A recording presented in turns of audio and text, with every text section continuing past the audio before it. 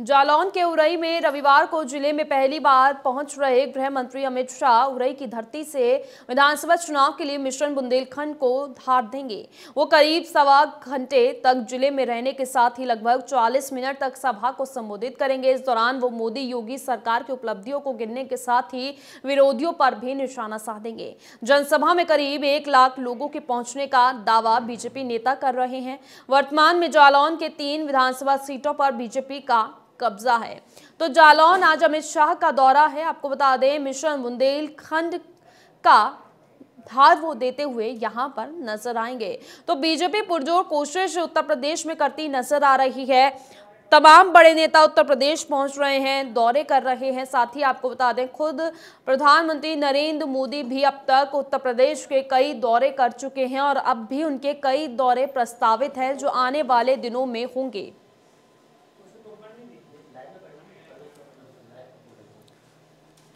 तो जालौन के दौरे पर आज गृह मंत्री अमित शाह रहने वाले हैं। मिश्र बुंदेलखंड को धार वो देते हुए नज़र आएँगे। आपको बता दें कि लगातार बीजेपी पूरी तरह से एक्टिव वोट में नज़र आ रही है और ज़िले में पहली बार अमित शाह पहुँचेंगे।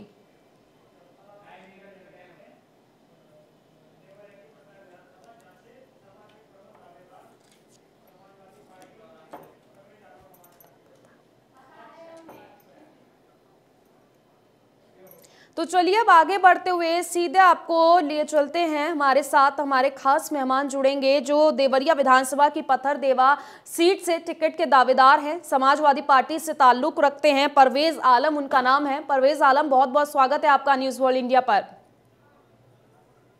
जी बहुत बहुत धन्यवाद। और सबसे पहले न्यूज़ वर्ल्ड इंडिया के साथियों को आ, मैं अपनी तरफ़ से धन्यवाद देता हूँ।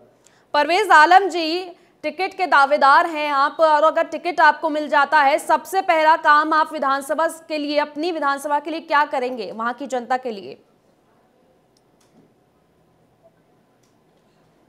अगर समाजवादी पार्टी मुझे उम्मीदवार बनाती है, जैसा कि मुझे भरोसा है, अपने राष्ट्रीय नेतृत्व पे, अपने राष्ट्रीय नेतृत्व पे मुझे भरोसा है, जिनका मुझे आशीर्वाद प्राप्त है। अगर मुझे प्रत्याशी बनाती है और जनता के क्षेत्र की नुमाइंदगी करने का मुझे अवसर मिलता है विधायक बनता तो सबसे पहले मेरी प्राथमिकता होगी इस इलाके को, इस इलाके का, इस विधानसभा का चौमुखी विकास करना मेरा लक्ष्य होगा। साथ ही साथ जो नौजवान है, जो बेरोजगार है, उनको रोज़गार उपलब्ध कराना। और इस इलाके में बहुत सी ऐसी मूलभूत समस्या है, जैसे अस्पताल की समस्या है टेक्निकल कॉलेज की समस्या है छोटे बड़े उद्योग की समस्या है जी। इस क्षेत्र की जनता को निजात दिलाने का काम करूँगा बिल्कुल परवेज आलम जी और इस बार हम विधानसभा चुनाव में देख रहे हैं कि तमाम पार्टियाँ इस बार महिलाओं पर बहुत ज़्यादा फोकस कर रही हैं। आप महिलाओं के लिए वो कौन सा काम करेंगे जो अब तक पत्थरदेवा विधानसभा में नहीं हुआ है? नहीं हमारी पार्टी हमेशा से महिलाओं के साथ खड़ी है। इस भारतीय जनता पार्टी की सरकार में महिलाओं के का न मान सम्मान सुरक्षित है, न बेटियाँ सुरक्षित है भारतीय जनता पार्टी की सरकार में। हमारी सरकार थी तो हमने बावन लाख करीब पचपन लाख लोगों को, हम लोगों ने समाजवादी पेंशन दिया था, उसमें लाखों महिलाएँ शामिल थी।